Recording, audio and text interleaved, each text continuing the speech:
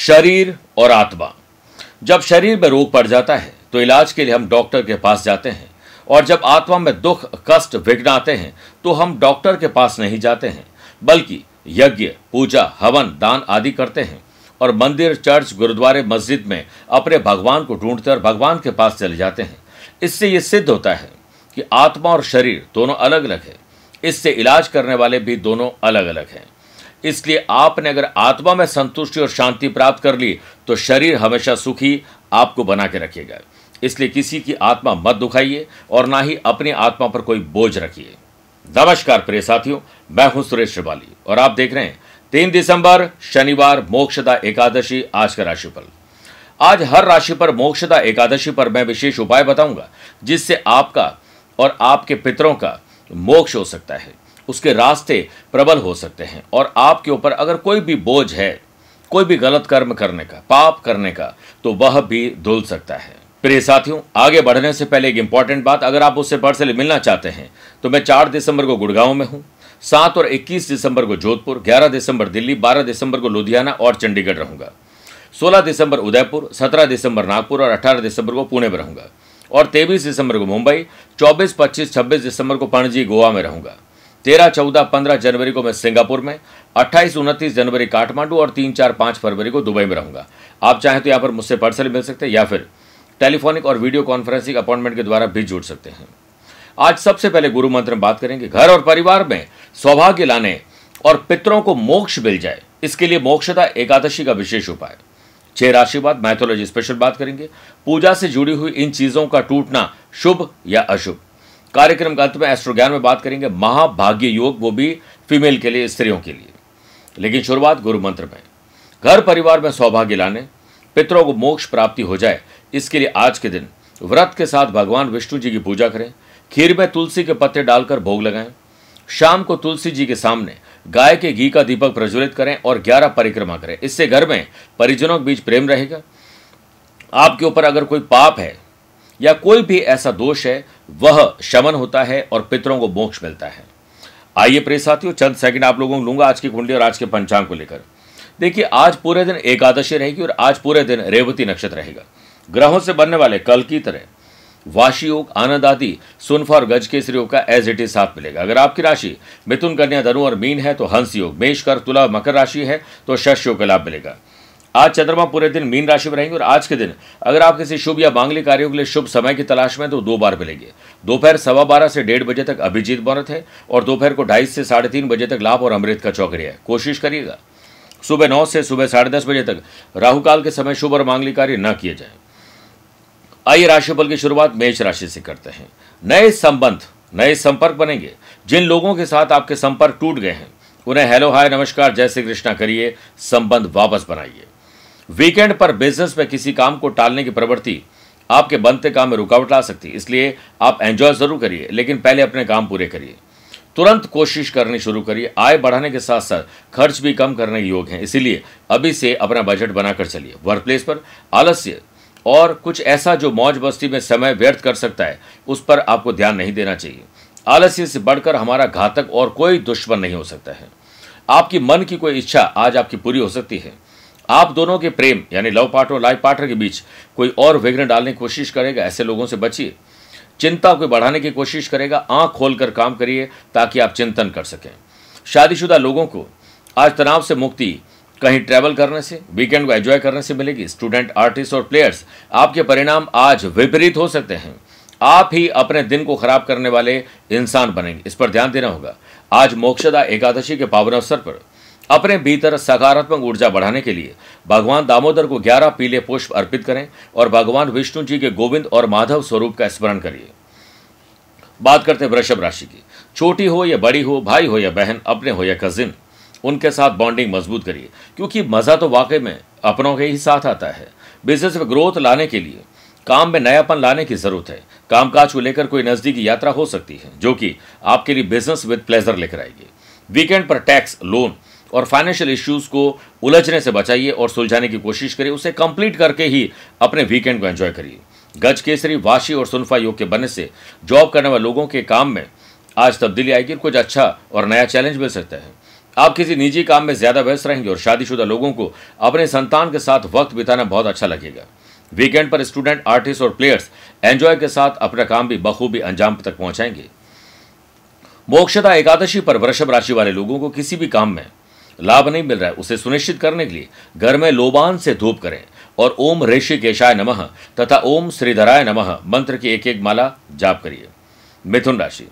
आपकी जॉब में बदलाव और तब्दीली आएगी और शुभता लेकर आएगी। इसमें आपको लाभ मिलेगा। आपकी क्या जॉब है? आप किस काम से अपने दिन को गुजारते हैं? उस पर थोड़ा सा परफेक्शन लाइए। एडवर्टीजमेंट सोशल मीडिया पर मार्केटिंग करने वाले लोग सेल्स परचेस और ऐसे काम जो app developer web developer web developer या फिर आईटी प्रोफेशन से जुड़े हुए लोग हैं जॉब करते हैं बिज़नेस उनके लिए अच्छा दिन है। पब्लिक रिलेशन को और बेहतर करिए। व्यवसाय में नए सोर्सेस ऑफ़ इनकम जनरेट होंगे।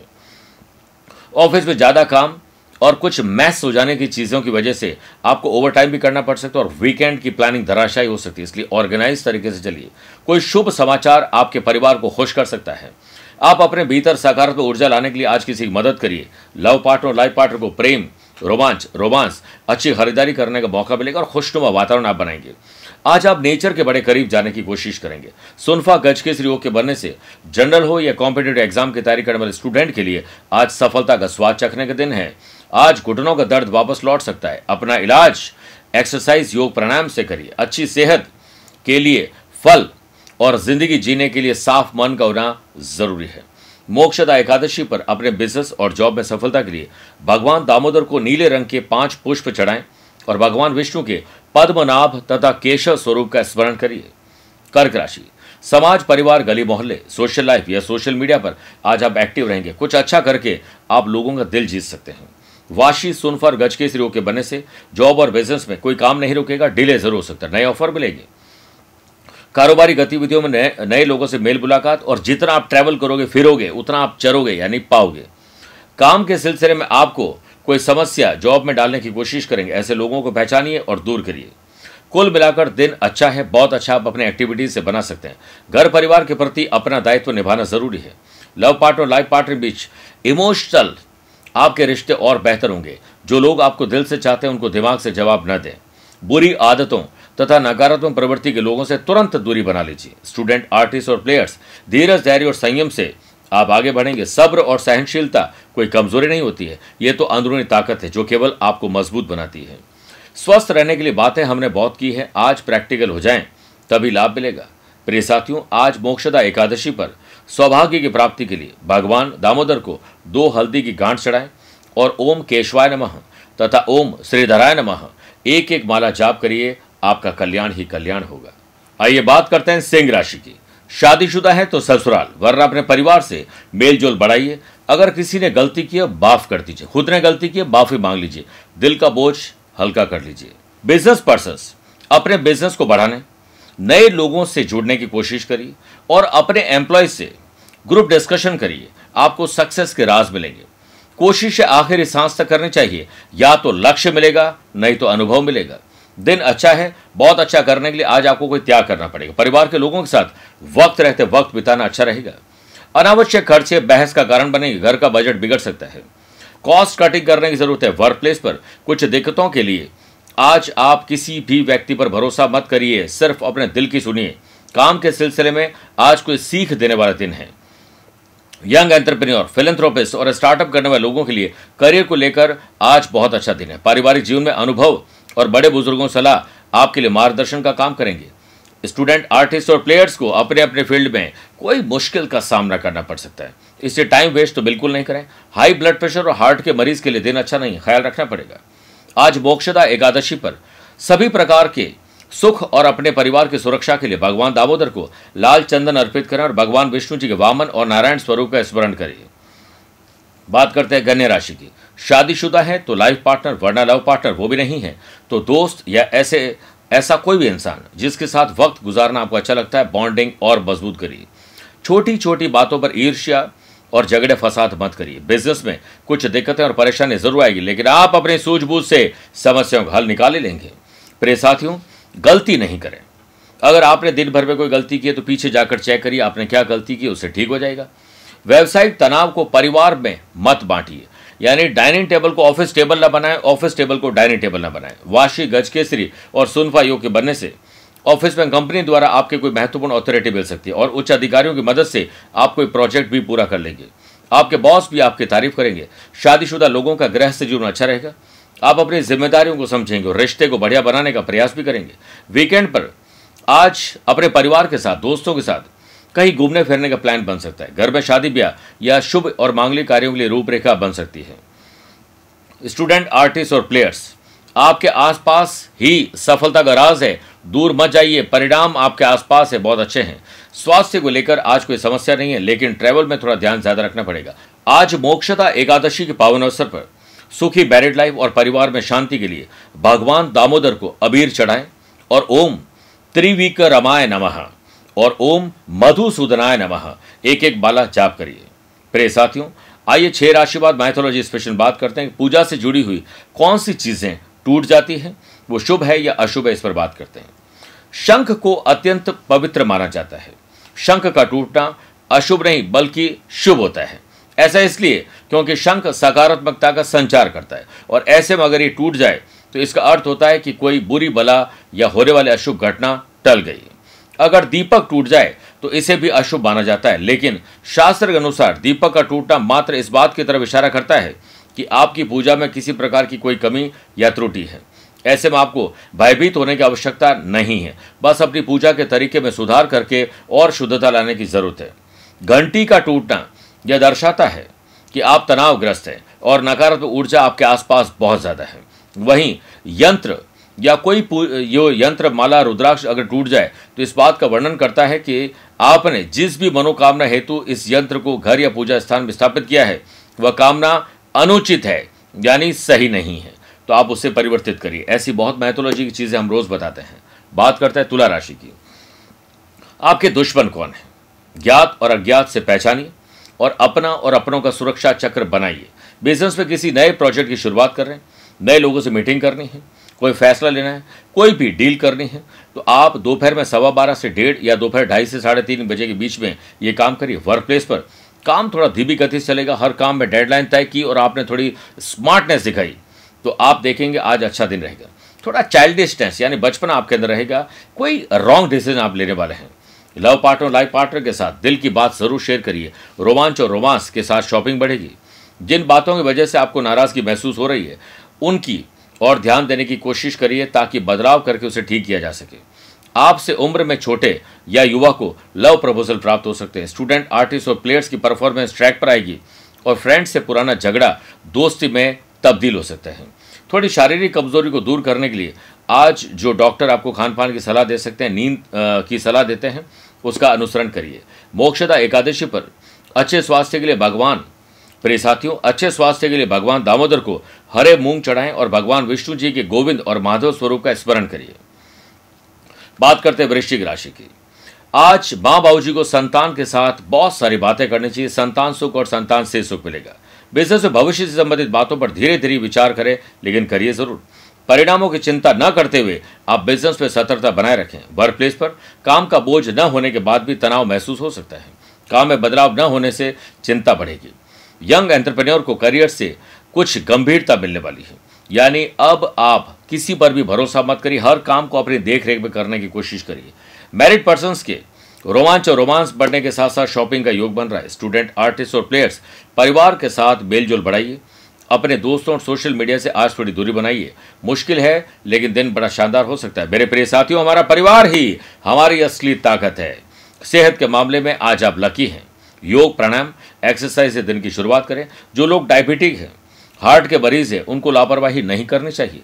मोक्षता एकादशी पर प्यार और परिवार में प्रेम पाने के लिए भगवान दामोदर को रौली और अक्षत का तिलक लगाएँ और ओम पद्मनाभाय नमः और बाद में ओम ऋषिकेशाय नमः।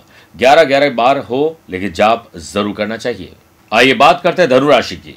परिवार की सुख और सुविधाओं पर ध्यान दीजिए, दिल बड़ा करिए, और अपने से छोटों की तरफ़ थोड़ा ध्यान दीजिए, उनको आपकी ज़रूरत है। गवर्नमेंट की तरफ़ से अगर आपको कोई तकलीफ़ आ रही है तो आज अधिकारियों से मिलना शुभ रहेगा। बिज़नेस में पैसा फंसना, नुकसान और धोखा हो सकता है। व्यर्थ के बाद विवाद से बचिए। खुद पर भरोसा रखिए, हर काम को अपनी देखरेख में करिए। किसी भी प्रकार की दुविधा की स्थिति में अनुभवी व्यक्ति की सलाह लेना या धीरज रखना ज़रूरी है। युवा लोग अपने लक्ष्य के प्रति लापरवाही न बरतें। नौकरी में आपकी पकड़ थोड़ी ढीली है। आपके लिए थोड़ा सा ध्यान रखने का दिन है। आप किसी को बुरी तरह निराश करने वाले, किसी आत्मा को ठेस पहुँचाने वाले इससे बचिए। आलस्य और लापरवाही में रहने से आपके खर्चों में बढ़ोतरी होगी। परिवार की जिम्मेदारियाँ नहीं समझेंगे तो आपको तकलीफ़ है। हर व्यक्ति के लिए संसार में सबसे महत्वपूर्ण अगर कुछ है, बहुत सारी चीज़ों में से तो उसमें से एक परिवार है जो शायद सबसे महत्वपूर्ण है। स्टूडेंट आर्टिस्ट और प्लेयर्स अपने अपने फ़ील्ड में कुछ नयापन लाइए। स्मार्ट प्ले स्मार्ट स्टडी करिए। आपका टाइम बहुत बचेगा, जो फ़ैशन पैशन हॉबीज में लगा सकते हैं।